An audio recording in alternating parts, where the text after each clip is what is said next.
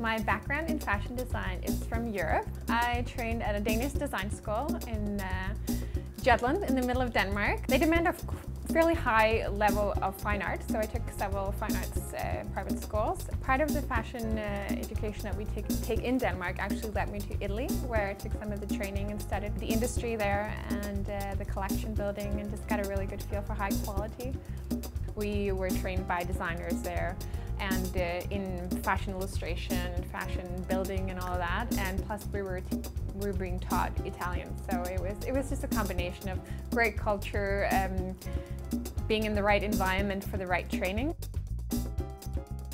I knew I was going to have my own company one day, so for me it was very important to know that I was very good at what I did. So um, I started working for a tailor in Ottawa, and I worked for her for two years. I learned, I did all the fittings, I did all the pattern making. So that's some of the things you do not get from design schools. Uh, you can only gain that from experience. That's fitting and making a proper fit, which is also one of the things that are very, very important to my collections. I've been in Canada for five years now. I moved to Ottawa and I lived in Calgary for a little bit and now I've been in Vancouver for three years. The first time I ever flew into Vancouver, I felt very much at home. I'll never forget the feeling just sitting in the plane and looking out the window and just going, yeah, this is pretty neat. I remember so vividly the stewardess saying, for who of you who's visiting, welcome to Vancouver. For those of you who live here, good for you. And I'll never forget that. It was so cool and I figured that's a pretty neat place. I would like to live there. Couture is high sewing. It's uh, it's hands-on, it's quality, and it's uh, it's one of a kind. And that's what I can offer to my clients who come up here. They can have something unique made for themselves that reflects their personality, and I can make it for them at a very high quality.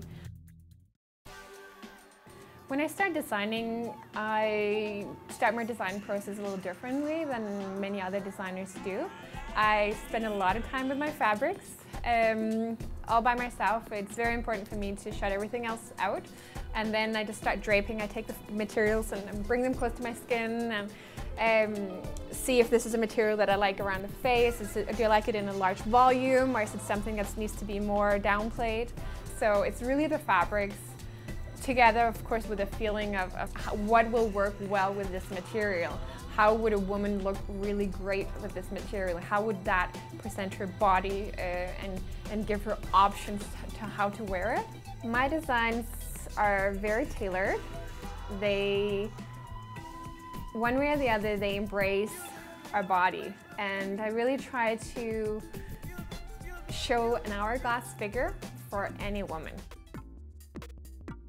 My signature piece is the bustier or the corset.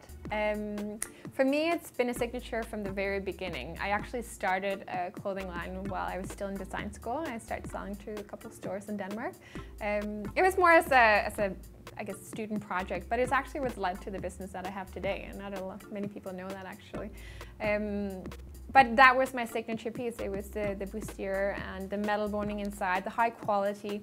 And I think why that caught my eye then was that for me it was probably the most um, it was the most difficult piece that I could imagine. How can I create that? The key thing that I think you can do with them is creating a dress look.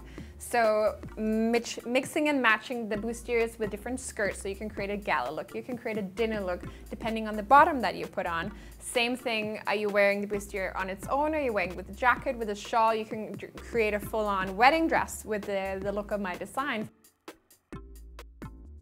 I started my label in 2008. I am so excited for the response so far. I did a show with Vancouver Fashion Week, which um, I'm definitely not complaining about the response. I got a standing ovation and was the first to get that in the 10-year history of Vancouver Fashion Week. So I'm very proud of that and um, it went above my expectations for sure. Since I did Vancouver Fashion Week, I was approached by the, one of the producers of New York Fashion Week and he took a look at my website and my work and was uh, excited about what he saw. Invited me to New York to do a one-man show, which I am of course very excited about. Everything is made in Canada and everything is made in Vancouver. I'm, I'm a big supporter of supporting local businesses and uh, I find that my clients as well are, are, asking the questions, where is this being made? And uh, they really do appreciate the fact that it's, that it's made in Canada.